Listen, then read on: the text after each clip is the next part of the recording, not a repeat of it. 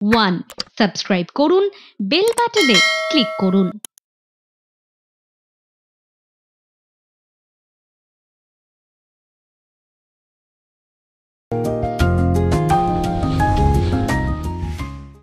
সোমবারে সন্ধেবেলা চ্যানেল ওয়ানে বই আড্ডা লিকাচ্চা অনুষ্ঠানের একটা নতুন পর্ব।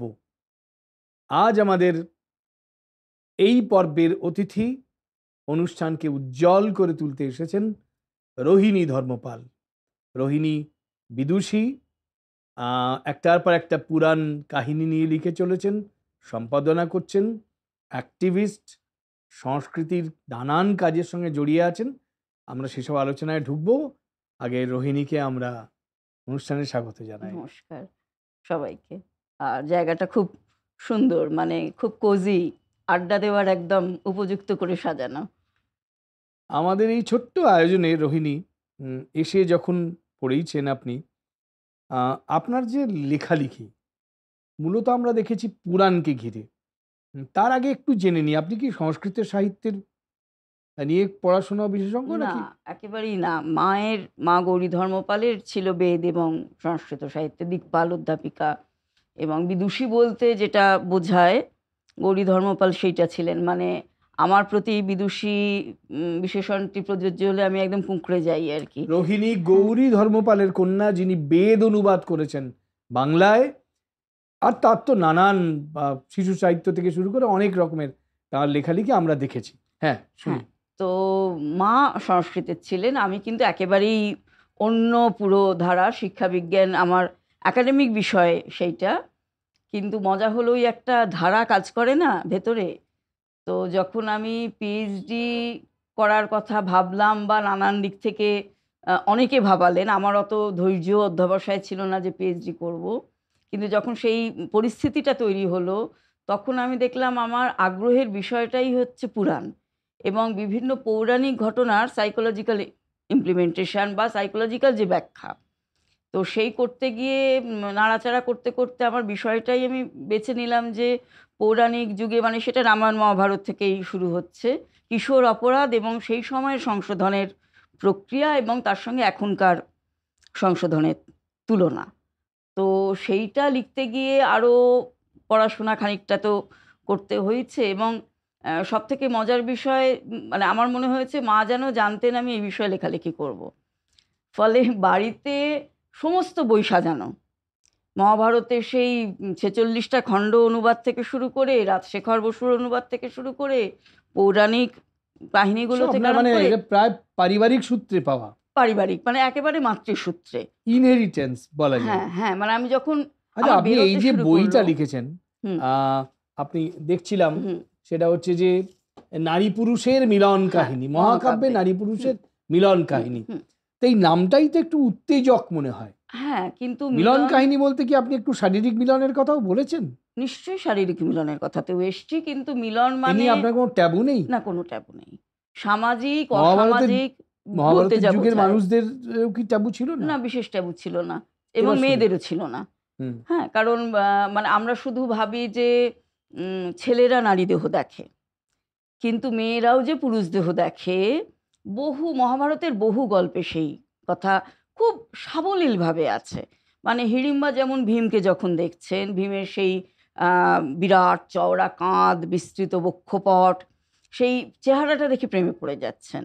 উলুপি যখন অর্জুনকে দেখছেন, অর্জুন যখন বনবাসে গেছেন, উলুপি মানে জলের তলায় প্রায় টেনে আনছেন অর্জুনকে যে, তোমাকে দেখে আমি উত্তেজিত হয়ে পড়েছি এবং তুমি বাধ্য আমার এই কামোত্তেজনা নিবারণ করতে।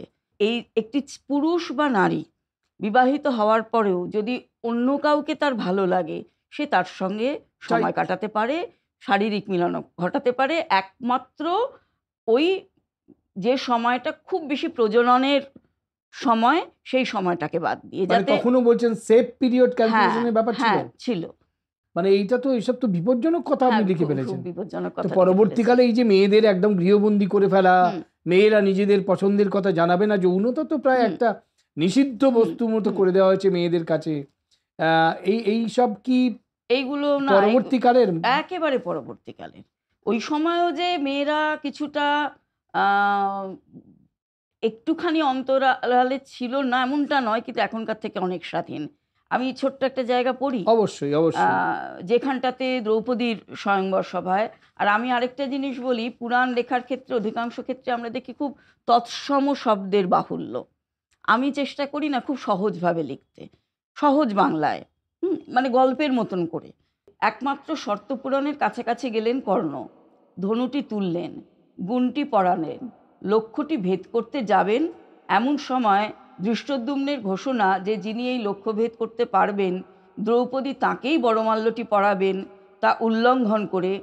অবশ্য দৃষ্টদ্যুম্ন কিন্তু উচ্চকুলো জাত হতে হবে এই শর্ত রেখেছিলেন। রীতিমতো জোর গলায় দ্রৌপদী বললেন, আমি সুতো জাতীয়কে বিয়ে করব না। এখানে একটা কথা না বলে পারছি না। নারী স্বাধ- স্বাধীনতার কি চূড়ান্ত একটা উদাহরণ দ্রৌপদীর এই প্রতিবাদ? যেখানে সর্বসমক্ষে একটা কথা দেওয়া হয়েছে, সেখানে একটা বিশাল সভার মাঝখানে দাঁড়িয়ে সেই কথাটি ভাঙা আর অবিচল থাকা সহজ নয় কিন্তু। না, কোনো পুরুষের পক্ষেও না। সেখানে দ্রৌপদী কারুর কথা না ভেবে লোকে কি বলবে সে কথা চিন্তা না করে নিজের মনের কথাটি স্পষ্ট করে বলে দিলেন। না মতলব না। কিছুদিন আগে মুক্তি পাওয়া অমিতাভ বচ্চন এবং তাপসী পান্ডে অভিনীত পিঙ্ক সিনেমাটি আর তার এই মূল বাক্যটি মনে আছে নিশ্চয়ই আপনাদের। মনে রাখা উচিত। সমাজ এমনকি পরিবারও একজন মানুষের হয়ে সবটা ঠিক করে দিতে পারে না। না বলার অধিকার আছে সবার একটি মেয়েরও। দ্রৌপদী সেই অধিকারটা প্রয়োগ করলেন। মহাভারতের সঙ্গে বচ্চন আর তাপসী পান্ডু মিশিয়ে দিচ্ছেন? হ্যাঁ কেন নয়? লোকে পড়বে? হ্যাঁ লোকে পড়ছে পড়ছে কারণ এটা তৃতীয় সংস্করণ হয়ে গেছে। আর একটা কথা যে যেহেতু আমি রেফারেন্সগুলো দিয়েছি যতই চমকাক যতই যাই করুক আপনি ভুল কথা বলেছেন এটা বলতে পারবে না। হ্যাঁ কারণ প্রত্যেকটা যা যাবতীয় যা বলেছি আমি মহাভারত রামায়ণ পুরাণ হোক আমি তার রেফারেন্স দিয়েছি। তিনটে সংস্করণ হলো এই বইটা আপনার কি মনে হয় যে উত্তেজক বিষয়বস্তুর জন্য? কিছুটা নিশ্চয়ই প্রথম সংস্করণের কিছু বিক্রি হয়েছে হয়তো প্রচ্ছদ দেখে হয়তো এই মিলন কাহিনী দেখে এটা আমি কখনোই অস্বীকার করব না। কিন্তু তিনটে সংস্করণ কি শুধু উত্তেজক লেখা আছে বলেই সেটাও তো হতে পারে না। আর উত্তেজক উত্তেজনা জাগাতে আমি চাইনি। বরং আমি চেয়েছি যৌনতা কত স্বাভাবিক সেইটা বোঝাতে। এবং যৌনতা মানে কিন্তু শুধু শারীরিক মিলনও নয়। এই যে এরকম এই যে সুন্দর একটা সাজিয়েছেন আপনারা। এই ধরনের কথা বলার পক্ষে উপযুক্ত একটা সাজ এটাও কিন্তু যৌনতার একটা বিষয়। এবং একটা কথা তো সত্যি যৌনতা যদি শুধু শুধু শারীরিক মিলনই হয় কতদিন সেটাতে আনন্দ পাওয়া যাবে? বরঞ্চ এই যে কথাবার্তা আলাপ আলোচনা বিভিন্ন বিষয়ে নতুন করে ভাবা, এইগুলো দিয়েই তো মানুষের সম্পর্ক টিকে থাকে, বন্ধন অনেক দৃঢ় হয়। এবং নারীর কাছে যেটা কাম্য, সেটা কিন্তু পুরুষের কাছেও কাম্য বাদশায়নে আবার এখন পুরুষের কাছে যেটা কাম্য বলে আমরা ভাবি, যে বাগ্মী হবেন পুরুষই একজন। সেই একই জিনিস কিন্তু মেয়েদের কাছ থেকেও আশা করা হচ্ছে।